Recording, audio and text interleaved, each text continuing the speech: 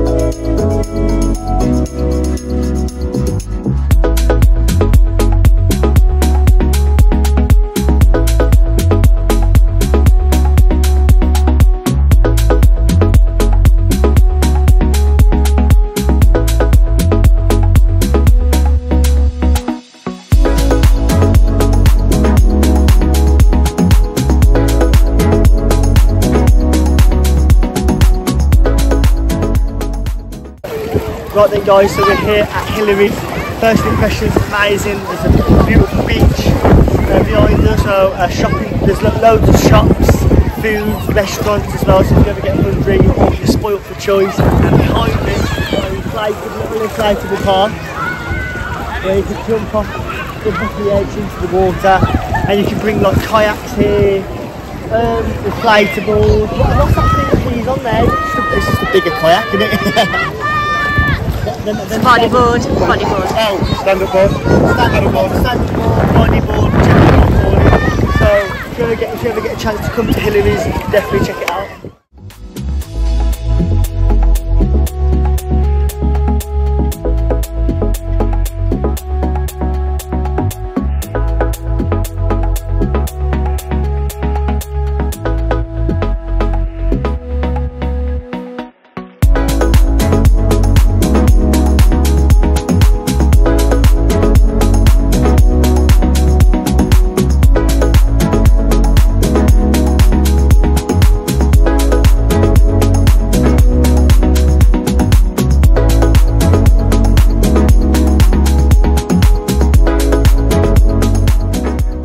Then guys, so we have stopped off for some brunch at the Dome. Um, I've had um, an, an avocado stack poached egg bacon and some sourdough bread. It's got amazing views. We're outside on the terrace. Um, lovely weather, great spot to come and have some food. We've got a cappuccino on the way. Funny enough, our food came before I drink, so yeah, the Dome at Hillarys.